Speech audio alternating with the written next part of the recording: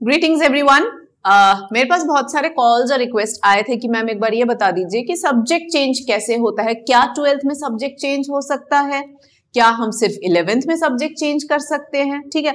इस तरह के बहुत सारी क्वेरीज आई थी तो आई थॉट कि एक आपको मैं समझा दू पूरा प्रोसीजर कि अगर आपको सब्जेक्ट चेंज करना है तो आपको क्या करना पड़ेगा? अंडरस्टूड तो देख लेते हैं कि सब्जेक्ट चेंज ग्रेड ट्वेल्व में हो सकता है या नहीं। तो मैं कहूँगी बिल्कुल हो सकता है ठीक है? इसके लिए एक सेट प्रोसीजर है जो सीबीएसई e ने फिक्स किया हुआ है तो स्कूल को और स्टूडेंट्स को वही सेट प्रोसीजर जो है वो फॉलो करना पड़ता है if they want to change their subject तो मैं आपको वही प्रोसीजर समझा देती हूँ।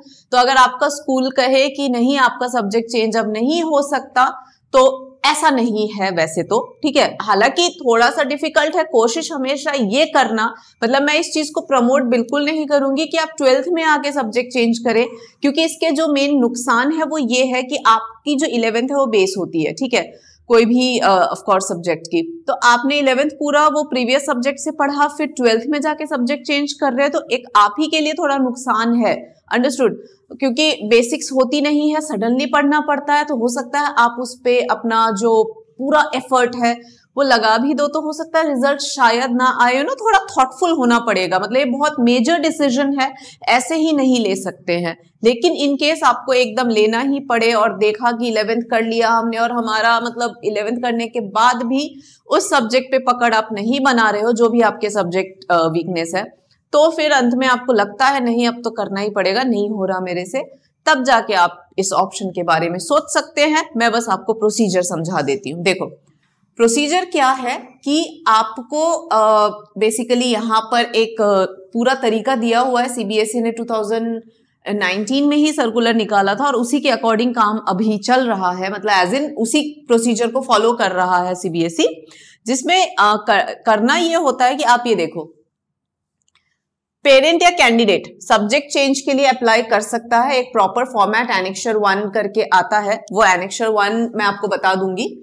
तो बेसिकली उस एनेक्शर वन में क्या होता है? Request of student and parent जो सब्जेक्ट चेंज का है, वो रिक्वेस्ट भर दिया कि हाँ हमें चेंज करना है। इसके साथ में रेलिवेंट डॉक्यूमेंट्स अटैच करने होते हैं तो रेलिवेंट डॉक्यूमेंट हो गया अगर आपने स्कूल चेंज करा है। तो तो प्रीवियस स्कूल का रिपोर्ट कार्ड और टीसी लगेगा, अगर चेंज किया है तो। और अगर नहीं चेंज करा है, उसी स्कूल में हो तो तो रिपोर्ट कार्ड प्रीवियस क्लास की लगानी पड़ेगी। उसके बाद में मेडिकल ग्राउंड पे अगर चेंज कर रहे हो, जैसे कि फ़िज़िकल एजुकेशन है और उसमें बहुत ही practically you know physical activity करनी पड़ती है, दौड़ना, भागना एंड ऑल दैट और बच्चा अगर नहीं कर पाता है मेडिकली अनफिट है तो अगर वो रीजन है तो वो अटैच करना पड़ेगा सारी चीज़ें और जो भी मतलब एक सब्जेक्ट चेंज से रिलेटेड जो भी आपके रीजन है, उस रीजन को सपोर्ट करता हुआ जो डॉक्यूमेंट है, वो सारा अटैच करना पड़ेगा। और ये कब तक करना है? ये करना है आपको फिफ्टींथ जुलाई तक, यानी इस एकेडमिक सेशन में फिफ्टींथ जुलाई तक आपको ये डिसाइड करके स्कूल को दे देना रहेगा ये सारे डॉक्यूमेंट्स ठीक है? This is annexure one only उसके बाद में नेक्स्ट स्टेप क्या होता है? नेक्स्ट स्टेप ये होता है कि स्कूल को मतलब पंद्रह जुलाई तक जो है, वो ये सारे डॉक्यूमेंटेशन जो भी बच्चों ने अपना दिया है। वो सब लेके कंपाइल करना होता है एनालाइज करना होता है।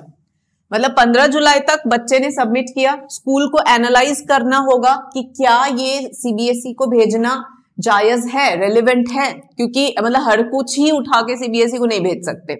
वैलिडिटी देखनी होती है कि क्या वो चीज़ जो भेजी जा रही है वो सीबीएसई e में उसकी मान्यता होगी। मतलब यू you नो know, अगर कुछ इरेलीवेंट सा कुछ भेज दिया तो फिर गड़बड़ है ना फिर स्कूल को ही सुनना पड़ जाएगा। तो स्कूल को देखना पड़ेगा कि वैलिड है या नहीं है ओके सो so, उसके लिए भी इन्होंने 15 जुलाई का ही डेट दिया है जहाँ पर परफॉर्मेंस देख लिया नाइन्थ एंड इलेवेंथ में मतलब कैसा था बच्चे का वो कोप अप क्यों नहीं कर पा रहा है? क्या वो सब्जेक्ट उसके लिए मतलब नया है या टीचर की तरफ़ से कोई इशू है? मतलब रीजन क्या है? Okay okay. उस सब्जेक्ट में क्या पता एफिलिएशन था ही नहीं और बच्चे ने ऑप्ट कर लिया? स्कूल के पास मतलब ऑथोराइजेशन नहीं था वो सब्जेक्ट चलाने का, फिर भी चला दिया। मतलब whatever is the reason the school has to analyse और स्कूल को एनालाइज करने का टाइम भी पंद्रह जुलाई तक, यानी इस सेशन के फिफ्टींथ जुलाई तक बच्चा भी दे दे और स्कूल आगे भेजने लायक है या नहीं है बेसिकली वो चेक कर ले। ठीक है? इस सेकेंड ऑप्शन तो ये बोलता है। उसके बाद में स्कूल को नेक्स्ट सेवन डेज़ में नेक्स्ट स्टेप क्या है? नेक्स्ट सेवन डेज़ में विद इन सेवन डेज़ यानी कि ट्वेंटी फ़र्स्ट जुलाई तक, सारा जो भी schools to compile all subject change cases in tenth and twelfth tabular form में एक परफॉर्मा होता है। उस परफॉर्मा के अकॉर्डिंग टेबुलर फॉर्म में सारा जो भी डेटा है वो कंपाइल करना होता है। अंडरस्टूड कंपाइल करके वो रीजनल ऑफ़िस को फॉरवर्ड कर देंगे। समझे? पंद्रह जुलाई तक स्टूडेंट ने सबमिट किया, पंद्रह जुलाई तक ही स्कूल ने एनालाइज कर लिया। एनालाइज करने के बाद में within next seven days वो सीबीएसई को फॉरवर्ड हो जाना चाहिए। ओके और रिकमेंडेशन ऑफ़ सब्जेक्ट टीचर जो भी प्रिंसिपल का रिकमेंडेशन है, और जितने जो भी नीडेड मार्कशीट वगैरह है सब कुछ अटैच कर दिया डॉक्यूमेंट्स वगैरह एंड सीबीएसई को फॉरवर्ड कर दिया विद इन सेवन डेज़ यानी ट्वेंटी फ़र्स्ट जुलाई तक सीबीएसई के पास वो सारी चीज़ें पहुँच जानी चाहिए।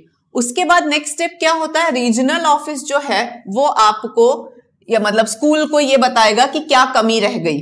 इसमें हमें ये भी दो ये भी दो होता है ना आ, उनके अकॉर्डिंग और भी डॉक्यूमेंटेशन अगर नीडेड है तो डेफिशिएंसी जो भी कमी है वो ट्वेंटी अगस्त यानी महीना भर अप्रॉक्स ये ले रहे हैं CBSE to analyse the request तो कोई भी कमी होगी तो फिर they will communicate to the school again फिर स्कूल को वो कमी जो है, वो वापस अगले सेवन डेज़ में पूरी करनी होगी, यानी 27 अगस्त तक जो भी उनको फुलफिलमेंट करना होगा जो भी कमी बताई गई है सीबीएसई e के द्वारा.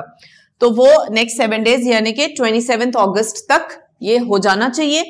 उसके बाद अगला स्टेप है last date for according approval by CBSE ये है 15 सितंबर तक। मतलब 15 सितंबर तक सीबीएसई एलओसी होता है ना लिस्ट ऑफ़ कैंडिडेट्स जो सीबीएसई रिलीज़ करता है to give the board examination तो वो फिफ्टीन uh, सितंबर तक हो जाता है और in case of change of any subject on account of direct direct admission ये है कि मतलब टेंथ और ट्वेल्थ, बोर्ड क्लास में जनरली एडमिशन नहीं होता है, उसमें जो एडमिशन होता है, उसको डायरेक्ट एडमिशन बोलते हैं।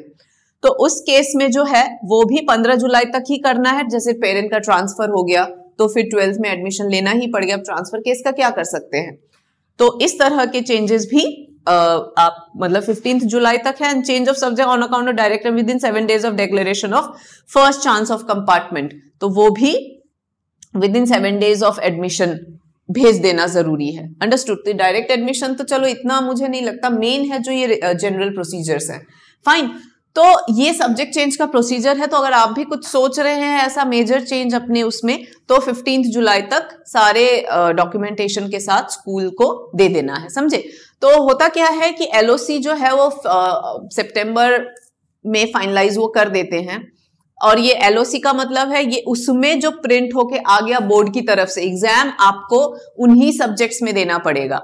तो लिस्ट ऑफ़ कैंडिडेट्स और उनके सब्जेक्ट उनका फ़ोटो उनकी सारी डिटेल बोर्ड के पास होती है बोर्ड वो भेजता है।